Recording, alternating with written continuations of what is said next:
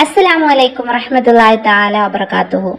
പ്രിയപ്പെട്ട മുഅ്മിനീങ്ങളെ ഏതൊരാൾക്കും പരിശുദ്ധ ഖുർആനിൽ ഏറ്റവും കൂടുതൽ അറിയാവുന്നതും അതുപോലെ തന്നെ കാണാപ്പാടവുമായിട്ടുള്ള ഒരു സൂറത്ത് ചെറിയ ഒരു കുഞ്ഞു സൂറത്താണ്. ചെറിയ ഒരു സൂറത്താണ്.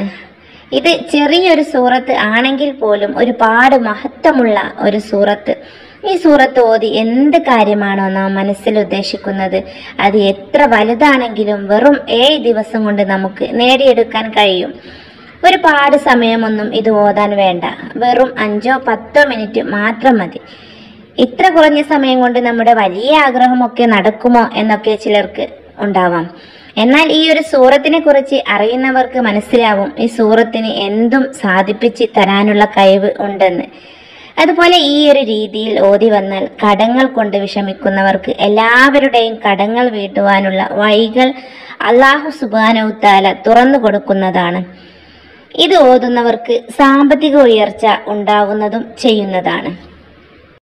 അതുപോലെ നമ്മൾക്ക് എല്ലാവർക്കും ഭയപ്പെടുന്ന പേടിപ്പെടുത്തുന്ന സിഹിറിൽ നിന്നും രക്ഷ ഉണ്ടാവുകയും ഷെയ്ത്താന്റെ ശല്യത്തിൽ നിന്ന് കാവൽ നൽകുകയും ചെയ്യും.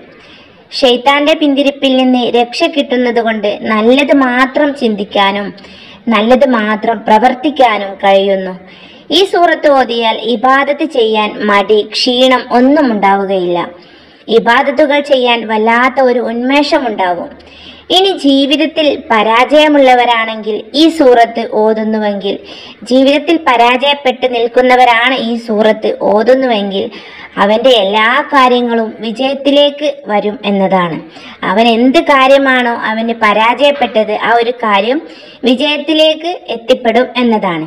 ഇത് പതിവാക്കുന്നവൻ ഇത് പതിവാക്കുന്നവന് അറിവ് വർദ്ധിക്കും. അതുപോലെ രോഗങ്ങൾ ഇല്ലാതാവുകയും അവന്റെ കുടുംബത്തിൽ സമാധാനവും സന്തോഷവും വന്നു ചേരുകയും ചെയ്യും.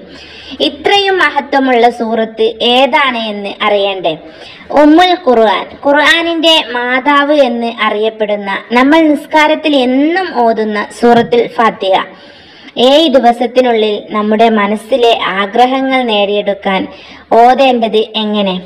സുബഹി നിസ്കാര ശേഷം സുബഹി നമ്മൾ നിസ്കരിച്ച ശേഷം നിത്യേന നമ്മൾ പതിവായി ഓതുന്ന സൂറത്ത് സൂറത്തുകൾ ദിക്റുകൾ സ്വലാത്തുകൾ അതുപോലെ തന്നെ ഖുർആൻ പാരായണം അതൊക്കെ കഴിഞ്ഞതിന് ശേഷം ആ നിസ്കാര പായയിൽ തന്നെ ഇരുന്നു കൊണ്ട് ഏഴ് തവണ നിങ്ങൾ സൂറത്തിൽ ഫാത്തിയ ഓതുക. ഇതുപോലെ ഫാത്തിയ സൂറത്ത് നിങ്ങൾ ഏഴ് തവണ ഏഴ് ദിവസം തുടർച്ചയായി തന്നെ ഓതുക. തീർച്ചയായും നിങ്ങളുടെ ആഗ്രഹം നടന്നിരിക്കും. ഫാത്തിഹ സൂറത്തിന്റെ മഹത്വം അറിയുന്നവർ ഇത് ഒരിക്കലും നഷ്ടപ്പെടുത്തി കളയല്ലേ? സുബഹി നിസ്കാരത്തിന്റെ ശേഷം നിസ്കാര പായയിൽ തന്നെ ഇരുന്നു കൊണ്ട് അവിടുന്ന് എഴുന്നേൽക്കാതെ ഫാത്തിഹ സൂറത്ത് ഏഴ് വട്ടം നിങ്ങൾ ഓതുക. ഇതുപോലെ നിങ്ങൾ ഫാത്തിഹ സൂറത്ത് ഏഴ് വട്ടം ഏഴ് ദിവസം തുടരെയായിട്ട് ഓതുക. ആ ഏഴ് ദിവസത്തിനുള്ളിൽ നിങ്ങളുടെ എത്രയോ വലിയ ആഗ്രഹങ്ങൾ അള്ളാഹു സുബാന ഉത്താല നടത്തിത്തരും എന്നതാണ്.